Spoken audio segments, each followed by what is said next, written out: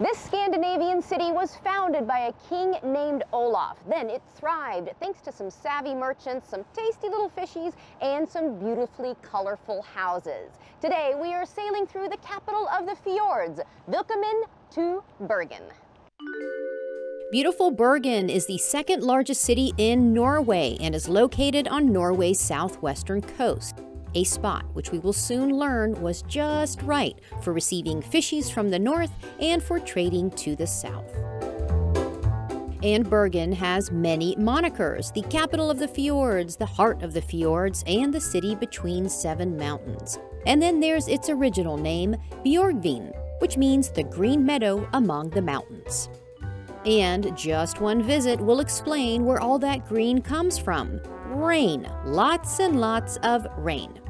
Oh, yeah, it rains a lot here in Bergen, so best to get a cute raincoat and just embrace it. Now, we don't know if it was raining the day that King Olav Kyrre decided to establish the city of Bergen back in 1070 AD, but we do know that his castle was built somewhere here along the edge of the harbor. Which was pretty savvy because, come on, just look at this view. So, here's what I'm curious about in Bergen who lived in a beautiful Victorian home named for a troll with a darling little man cave down by the lake?